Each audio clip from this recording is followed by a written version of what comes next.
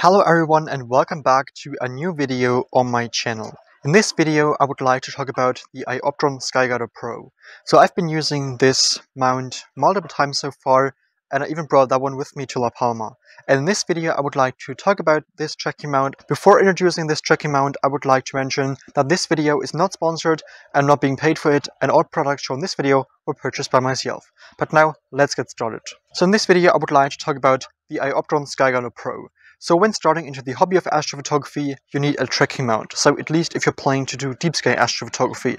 So for sure you can do deep sky astrophotography without a tracking mount as well, but then your exposure time needs to be very short. Therefore, in astrophotography, it's very important to use a tracking mount. And there are different tracking mounts on the market. So there are those star trackers and there are those bigger uh, tracking mounts, such as the HEQ5 Pro Go-To mount, which is the bigger mount that I'm using for deep sky astrophotography. But this tracking mount is in the category of the star trackers. So these star trackers are very portable star trackers, so they are not that heavy. So therefore, these star trackers are great if you're planning to get started into the hobby of astrophotography. So there are different reasons why these star trackers are very suitable if you're planning to get started into the hobby of astrophotography.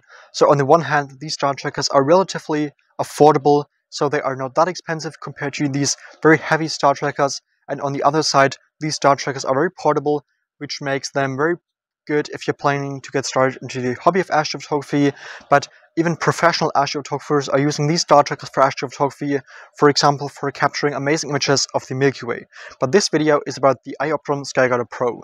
So now I would like to talk a bit about the features of this tracking mount. First of all, if you're planning to buy this star tracker for astrophotography, it's important that you're using a good tripod for astrophotography that has a lot of stability. So in the beginning I made that mistake unfortunately, so on La Palma I've used this tripod and it was a bit windy and therefore I had to delete multiple images. But I even own um, the original tripod for this star tracker, which is this one, and this one is definitely better because it has more stability, and with that one you can even capture images if it's quite windy. So usually I'm using this tripod because it's just simply better. So with this tripod it works quite good.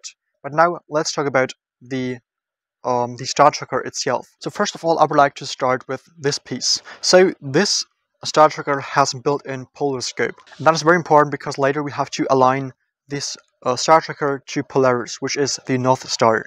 So therefore we have to look through this polar scope later on, and in order to be able to align this star tracker to uh, Polaris, we have to align the star tracker, and therefore we can use uh, this base here, so we can I'd like to show you that uh, just by moving this screw you can uh, move this star tracker depending on your location. So as you can see I can select uh, or can move the entire star tracker by simply moving the screw. So this is the very first one and with these two screws you can move the entire star tracker to the left and to the right which helps you to align Polaris in the polar scope in the end. So that's about aligning this scope, this star tracker to Polaris.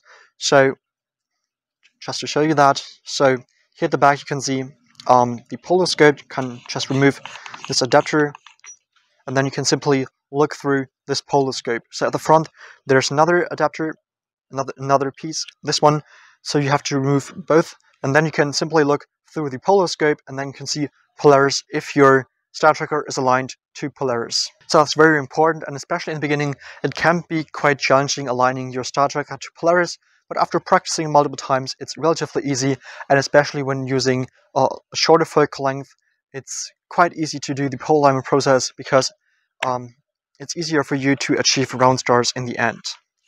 So, now let's talk about the different buttons that you can select at the back. So there is one button right there where you can just turn on and turn off the entire tracking mount. When turning on the tracking mount, your tracking mount will uh, start tracking the night sky. So very, very easy in the end. Right at the back, you have different ports. So you have uh, a guiding port here as well, so you can attach a guide scope as well to your system, which allows you to um, improve the tracking, which helps you to use longer exposure times. So that's definitely great. Right next to it, you have the um, the USB power port where you can uh, charge the battery of this Star Tracker. So um, there are multiple Star Trackers on the market, but this one has a built-in battery, which is great. So you can simply recharge the battery, hit the bag, and you can even uh, attach a power bank to this uh, star tracker, which means that you can charge this star tracker while capturing images of the night sky, which means that you can capture multiple nights with this star tracker. I've tested this star tracker, and you can definitely capture uh, images multiple nights, so two nights, without uh, charging the batteries of this one. So definitely, you do not have to charge the batteries every night you plan to capture the night sky. So much said about the battery. Right on the top you have three different buttons, so you can, for example, select different modes with this star tracker. So you can select between a solar, a lunar, half speed, normal speed, so the speed for the stars. Um, so these are the different modes that you can use.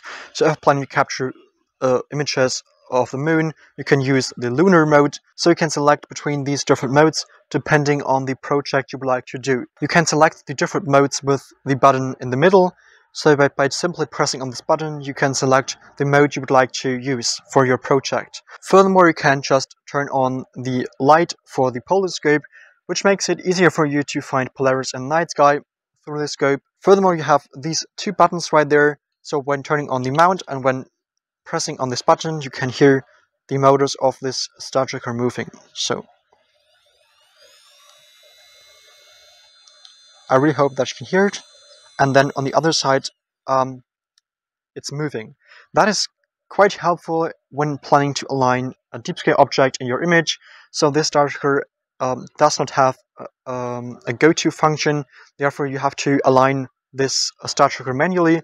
And when um, centering the object in your framing, you can just push these buttons in order to center the object in your center or just in order to achieve the perfect framing that you would like to achieve. So much said about all of these different modes and the buttons and now let's turn the star tracker to the side so in order to be able to show you how to attach a camera for example to this star tracker. So when using when moving this ring here you can um, move this entire piece here and when your object is centered, you can just simply move this ring in order to secure the entire star tracker. Now I would like to talk about how to attach a camera to this star tracker, for example. So therefore you need um, a ball head. Then when planning to attach um, this ball head to your star tracker, you need a second adapter that comes with this star tracker. So therefore you have to simply remove um, this adapter right there and you can just put it away. And then you have to attach this adapter to your star tracker like this.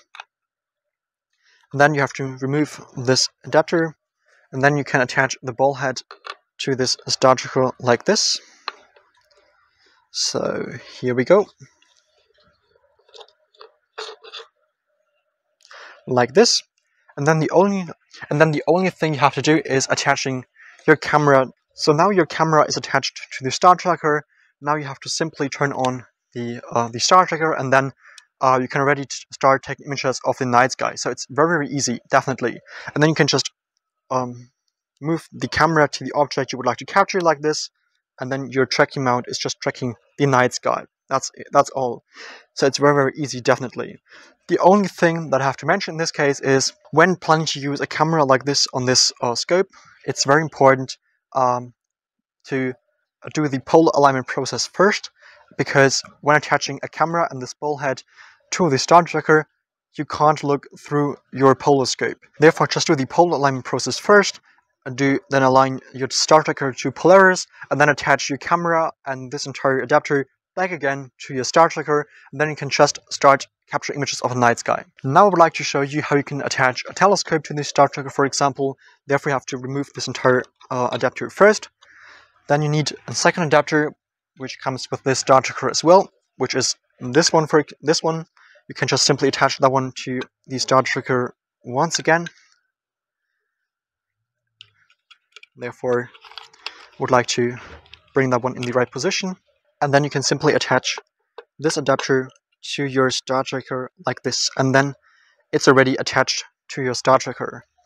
It's moving a bit because I've not um, attached the star tracker correctly to the tripod. But that's not a problem right now because I would like to just simply show you how everything works. Just bring that one in the right position like this. And the, the second thing that you'll need is a counterweight. And this one, so the star tracker comes with a counterweight. So just simply attach that one to your star tracker like this. And then the only thing left to do is attaching your telescope right there. So right now my telescope is attached to my bigger tracking mount because I would like to use that one in the next few nights for deep sky astrophotography. But right now you can see um, a video of me um, just using this star tracker with a telescope attached to the star tracker. So definitely you can use a telescope on the star tracker, but if it's windy, don't do that because your, your entire setup will move all the time. For sure that depends on the, uh, the tripod you're using, but generally speaking I would not recommend using a very big telescope on the star tracker if it's windy. So I've used a telescope with a focal length of 264 millimeters, which is, in my opinion, definitely the limit of this star tracker. So if you're trying to use a bigger telescope on such a star tracker, I would recommend buying a bigger mount because these star trackers are not built for carrying uh, a telescope with a focal length of more than 300 millimeters.